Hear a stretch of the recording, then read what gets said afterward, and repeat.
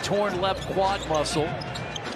And also Doug McDermott out again for his third straight game, and that's a nice